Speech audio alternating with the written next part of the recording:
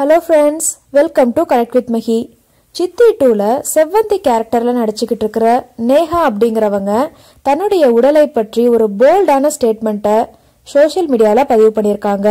அது என்னன்னு நீங்கள் தெரிஞ்சுக்கிறதுக்கு முன்னாடி நம்ம சேனலுக்கு நீங்களும் சப்ஸ்கிரைப் பண்ணல அப்படின்னா மறக்காமல் சப்ஸ்கிரைப் பண்ணிக்கோங்க. ஸோ செவ்வந்தி வந்து பார்த்தீங்கன்னா ரீசண்டாக ஒரு போஸ்ட் பண்ணும்போது நான் வந்து குண்டா தான் இருக்கேன்.